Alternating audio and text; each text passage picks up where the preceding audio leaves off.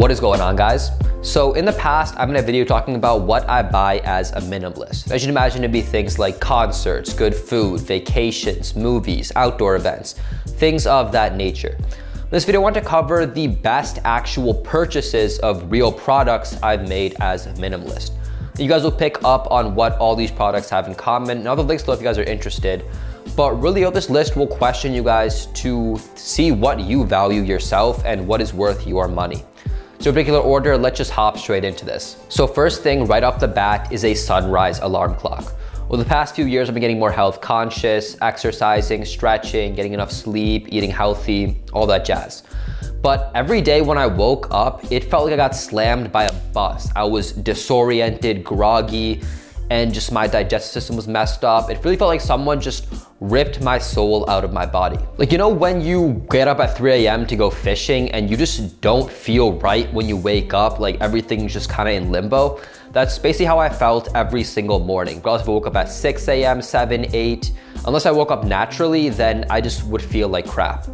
So I somehow stumbled across a sunrise alarm clock on by someone on Reddit, and it is just a complete game changer. It's a device that uses light to gradually wake you up anywhere from 10 minutes to an hour before your alarm goes off. And then as your alarm goes off, it'll you know play some noise to actually make sure you get up.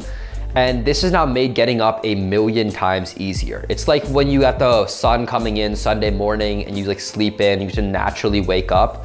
That's how I feel.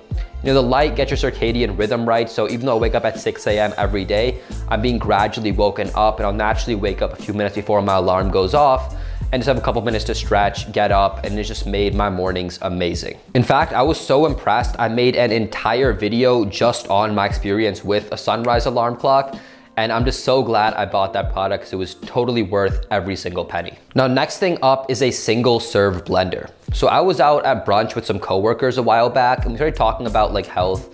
And I realized that I consider myself healthy because I didn't eat unhealthy foods, not because I ate healthy foods. So to get more veggies into my day because I have never my whole life at any age liked or been forced to eat veggies, I bought a single serve blender to mix them all in and make it more edible because I would never eat them raw. And now every single day I make a smoothie made out of kale, avocado, broccoli, spinach. I recently added asparagus, cucumbers, and um, what's the other one? Brussels sprouts. It tasted pretty good before I added the asparagus and Brussels sprouts. Now it just tastes okay.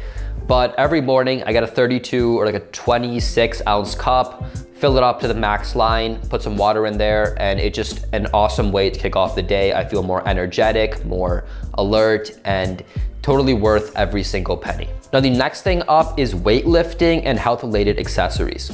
So going to the gym for the past few years and you can get in pretty tip top shape with none of this stuff.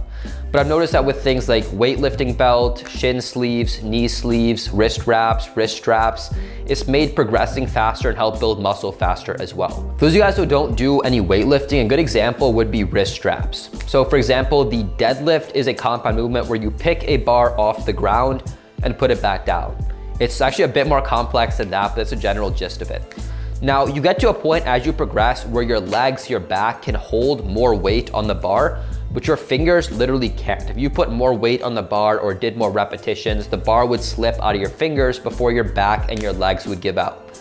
So where wrist straps come in is you tie the straps from your wrist to the bar and that keeps it all in line. And that takes grip out of the equation so you can continue to pro progress and get your back and your quads stronger without worrying about your grip. Similarly with health accessories, I'm a software engineering intern and I don't call myself a YouTuber, but I make YouTube videos.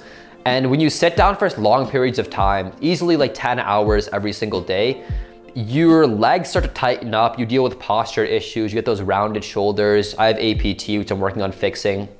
And investing in things like foam rollers and bands have helped me tremendously in loosening my body up and keeping it going long term without dealing with the aches and pains. I recently got one of those firm spiked foam rollers, incredibly painful, uh, but using that and a few other accessories every day has kept me loose and kept my body going in a good shape. And with the weightlifting accessories, I use those four times a week. I start my workouts all with a heavy compound lift, so those have all been used. It's getting to a point now where the, some of the stuff I bought a few years ago is getting so worn out, I'll need to buy new ones. Now the next thing up, which I'm sure all my channel subs saw was coming is tech. I have a lot of tech.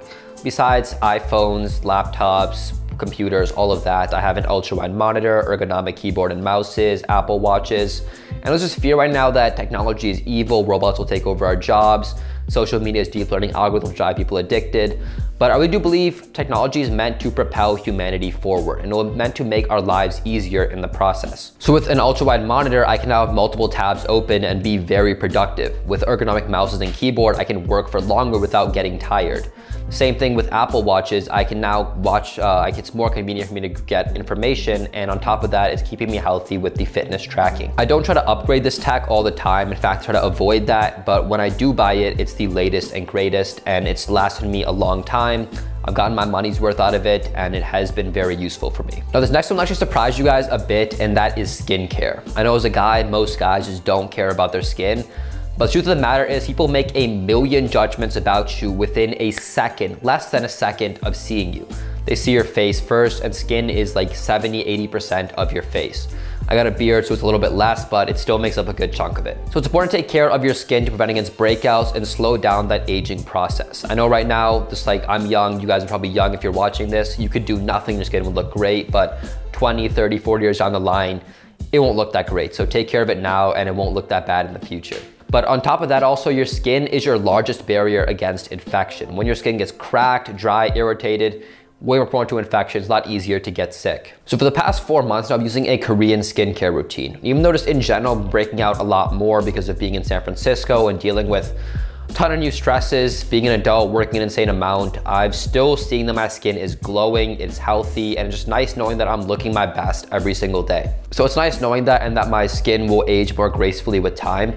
These Korean skincare products are pretty pricey, not as insane as you might think, but definitely on the higher side of the spectrum but it's definitely money well spent and you can really feel the quality difference. And last one up, which is actually kind of multiple products, is camera gear. This might come as a surprise to most of you, but I make YouTube videos.